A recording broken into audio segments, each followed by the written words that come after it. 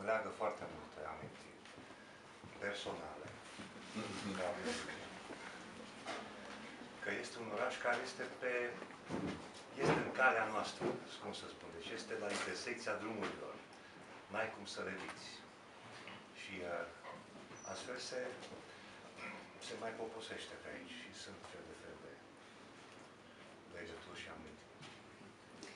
Și uh, cartea pe care ne-o propuneți uh, în această seară este o carte despre legături și amintiri, este o carte a unui parcurs, a unui artist, uh, prin viață și prin emoții, sau?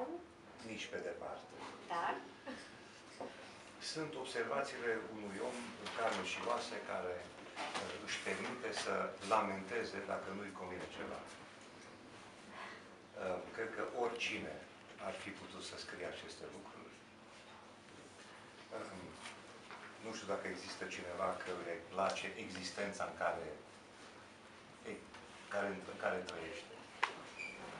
Um, și atunci, eu am un principiu. În univers, orice organism crește până apare anticorp.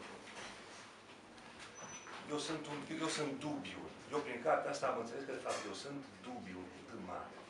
Eu sunt semnul întrebării. Și rolul meu este ca să vă fiu Vitus Troian și să mă bag în pielea voastră ca să uh, implantez acolo dubiu pentru fiecare. Și să vă întrebați de ce. Uh, eu nu, nu am... Uh, uh, scopul acestei cărți nu este ca să mă adun prieteni și susținători. Că oricum n-am. Sau oricum n-aveți nevoie. N-aș fi atât de avocat. Cu toți avem nevoie. Dar așa s-a evit că, uh, fiind dintr-un alt film decât uh, obișnuitul filon în care se scaldă discursul social pe aceste meleaguri, eu n-am altceva de făcut decât să-mi asum această... Eu m-am născut diferit. Știți ce zic? Și asta la, la 50-52 de ani uh, mi s-a concretizat, de fapt. Uh, totdeauna am fost, în, totdeauna am fost pe, pe cealaltă parte. Și când am fost puști, și când uh, am început cariera cu formația Metropol, unde a fost cel mai tânăr și ei a fost mult mai mare ca mine. Eu niciodată n-am cântat cu oameni de aceeași vârstă cu mine. Și asta era o, o, o, o schizmă de identitate. Uh, uneori chiar frustrantă. Eu n-am avut colegi de generație cu care să împărtășesc emoțiile sau dezvoltarea noastră. Ba am cântat cu oameni mult mai mici ca mine, care aveau alte um, uh, idei, alte um, priorități în viață. Și atunci m-am izolat așa pe o insulă. Eu sunt prințe, prințul ăla din, din turnul de fildeș care este păzit de balaur și aștept prințesa să vină să se bată cu balaur și să mă salveze. Invers. Și atunci din asta mi-am făcut un business. Foarte simplu. și nu duc rău. Asta e, asta e, asta e interesant. Deci cartea este practic o, o colecție de, de texte care s-au întâmplat în, de-a lungul anilor. Um, unele sunt și pe blogul meu pe care nu citește nimeni și atunci m-am gândit de ce să nu fac mai accesibil textul respectiv. Um, o să vezi, cartea are o formă pătrată. De ce pătrată? Pentru că era mai ieftin la, tip, la tipografie. Yes. Și atunci, evident că nevoia ne împinge către soluții și rezolvări.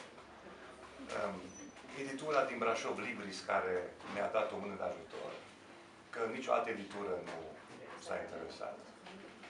Eu încă n-am uneltele și uh, uh, capacitatea necesară ca să îmi public singur cartea. Și cu discuri am probleme. Uh, și atunci uh, m-am folosit de generozitatea editurii Libris. Uh, ei mi-au dat o, un preț pentru A5 și pentru pătrat. A pătrat a fost mai ieftin. Și iată că a ieșit o carte care nu se poate pune pe un raft. Pentru că se pierde printre celelalte. Nici în buzunar.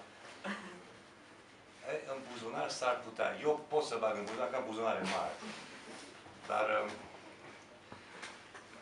am avut o lansare uh, duminică la București, la Centrul Comunitar Evresc, unde a venit Maia și cu Zoli Butum să citească din... Și pe surprinderea mea au citit, sunt nemernici totuși, sunt niște nemernici. Pentru că s-au jucat atât de frumos, Maia a citit un text, Zoli un alt text.